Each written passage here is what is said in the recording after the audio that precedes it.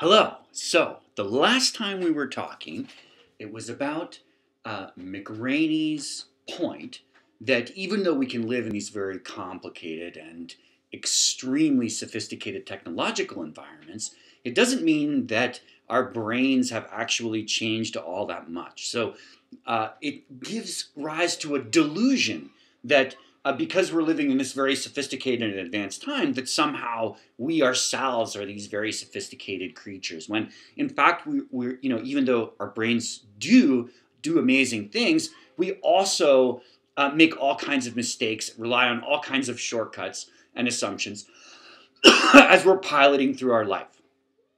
So, um, this is this point that uh, he's making that we right now in history and hopefully this remains true after you know the pandemic plays out. We are sitting on top of the shoulders of giants so to speak that uh, below us is this huge history of trial and error you know and so many more failures than we can possibly imagine uh, because most of the time we really only see evidence of the successes of various kinds of experiments um, and innovations right?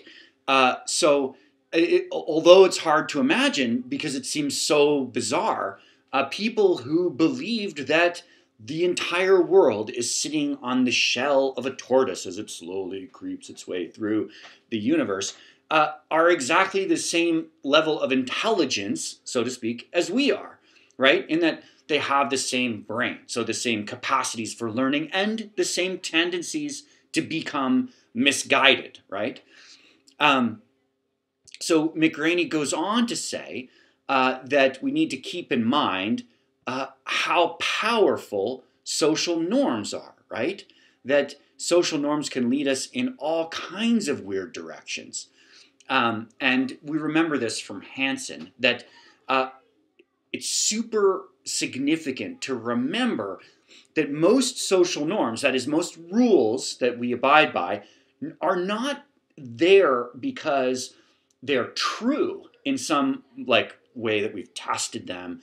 They have evolved to protect us from each other, right? And to protect us from ourselves. So that is to say, to keep us from committing acts of aggression or excessive competition that undermine the way groups can function together and the way that we can all kind of help each other uh, to to kind of pursue these collective goals that are larger than any one individual right? So, but this means that we might believe things that, or, you know, believe that certain behaviors are important, uh, even though they're complete cultural constructs, meaning we built them out of uh, cultural practices and behaviors uh, rather than they were given to us or handed to us as like a set of ironclad rules, right?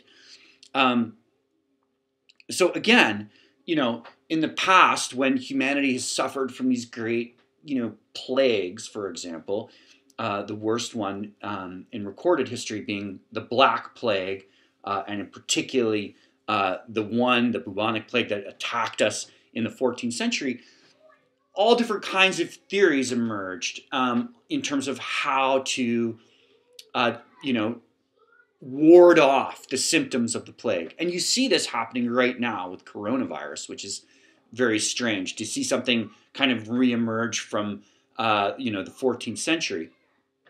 Um, but yeah, people used to whip themselves, you know, uh, thinking that their sin, you know, had, if they were able to purge themselves of sin, then they would be less likely to be infected. Um, you know, which of course left them weaker and more immunosuppressed uh, so that the disease was able to attack them, you know, more uh, easily. Um, so in this chapter, McRaney finally kind of gets to the point, which is that there is a method, he's going to call it scientific method, right? In which we can use, we can rely on, uh, that is out there in the world. It doesn't come naturally to us. Most people uh, you can learn how to use scientific method in your everyday life, but most people don't do that normally, right? Uh, but it's there for us. It can be learned, and it can be learned in a very kind of straightforward and simple way. We, in other words, you don't have to be a scientist to have access to scientific method, right? Um, but part of it in, involves, you know, initially searching for something that disproves what you already think. So it involves doing something uncomfortable, which is examining, let's say, a common belief that is held. Uh, you know, for example, that um, young people are not at threat from the coronavirus or something like that, right? And then testing that theory, which maybe is both a commonly held belief and also one that, if you're young, uh, is kind of nice to believe. But instead of searching for ways to confirm your, your hypothesis or this commonly held belief, to search for ways to disconfirm it. And to, that is to subject it to testing, right? To say, okay, I would like to think this, uh, and lots of other people think it. Uh, let's test it out by subjecting it to, to tests. Um, so that is kind of this idea that uh, normally um, we have these kinds of assumptions, and that we are also sort of assuming a lot of the time that what we're told, especially by people whom uh, are of our own cohort, uh, that is like our kind of that we share these commonalities with, that these things are correct and right. Um, but uh, we instead of doing that, we assume the opposite and proceed in this way. And this can lead us to a different types of experiences.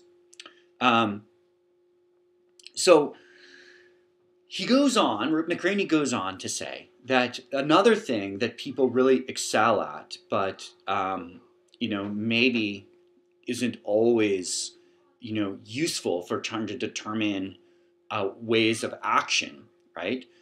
Are by creating stories, by building these kinds of narratives and that stories for us are very attractive. Like we like telling stories, being told stories, and so the tendency is to try to kind of create a, a convincing or a compelling narrative that um, you know maybe doesn't have that much relationship to argument, but instead uh, is full of bells and whistles.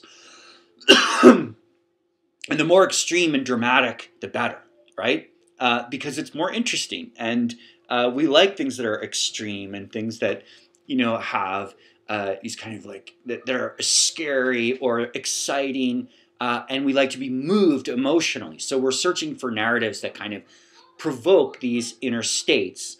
Uh, sometimes instead of trying to test our our hypotheses. Uh, so you know the point is is that most of the time we don't have uh, the capacity to kind of contest our, our, our these narratives or beliefs in, unless we start engaging um, with the assumption and with the knowledge that these kind of cognitive biases exist right? So the first step to kind of building a, a, a part of your brain that's like hmm wait a second uh, what am i thinking? What am i doing? You know the part that it questions yourself uh, is to just kind of become aware of the fact that these tendencies these fallacies and these cognitive biases exist around us. All right, that's it for today.